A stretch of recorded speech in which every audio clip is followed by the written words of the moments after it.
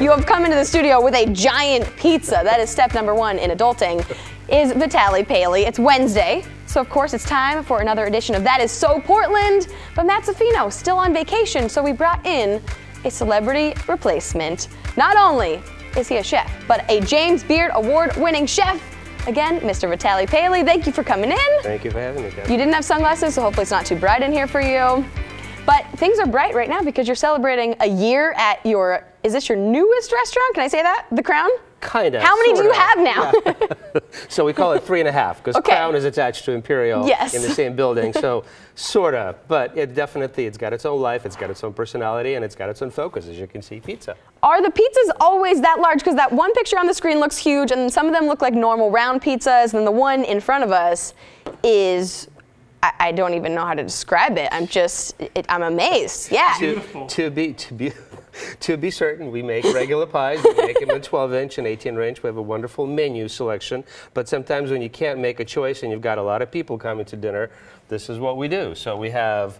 We call this an imperial pie. As you can notice, we got What? some fried chicken, some Uh, pickles, yes. hot sauce, more pickles, and Hot some ranch dressing. Pepperoni, everybody loves a pepperoni, right? And you got to separate it by some vegetables. So we call this. There fresca, roasted tomatoes, some arugula pesto, some fresh arugula. Oh. We cut them up. People just come and get them. Uh, you can add more or less or Ooh, none at all. okay. Is this the hot sauce that's on That there? is the hot sauce. We make it at Imperial. It's Fancy. fantastic. Now, and through Friday, since you guys are celebrating your birthday, people can actually get kind of get free pizza. So they got to buy some pizza, Well, but you got to buy a, buy a slice, but because we're going into a second year, the second slice is free. So that's so smart. one, So, like next year, do people have to buy two slices and then a third slice is free? we can talk about it then. We'll plan, but for now, plan. we have a lot of pizza, and I think the fried chicken pizza is is a perfect transition because we're talking about things that are weird that Mm-hmm. are happening around Portland. Clearly, you don't shy away from putting kind of weird things on pizza. Do any really weird things ever happen at any of your restaurants?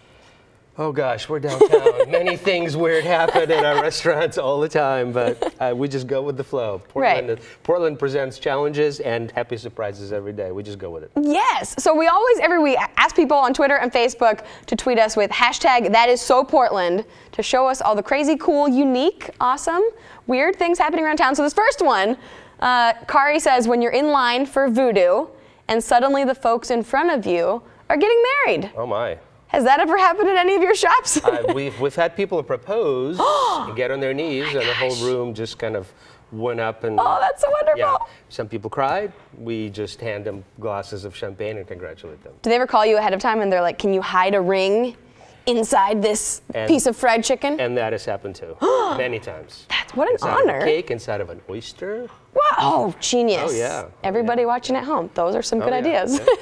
okay, our next crazy thing. You know, sometimes you're walking through Portland and all of a sudden you see a little shop to have tea. Have tea on us. I'm wondering, this was posted on Sunday morning, so maybe it was at the Naked Bike Ride, do you think? Well, you know, we're famous for our coffee, but tea is pretty good too. I'd Yeah? Go, I'd go for a cup of tea about now. Right, at Headwaters, you got the whole fancy That's. Russian We tea do Russian- service. exactly, Russian But sometimes you just want a casual tea on a street corner, right? Hey, it goes. Okay, then do ever any dogs ever show up to your places? Because this is a very, very hipster dog here in Portland. Cedar Dog, 503. We happen to be located inside the hotels that are dog friendly. So both both the Heathman Hotel and Lucia are very much dog friendly hotel, which is definitely part of the Portland DIY scene. Uh, unfortunately, restaurants are not allowed to have dogs Right. unless they're service dogs. But you've got lovely windows. You But we do have there lovely, exactly. You can look out there. yes.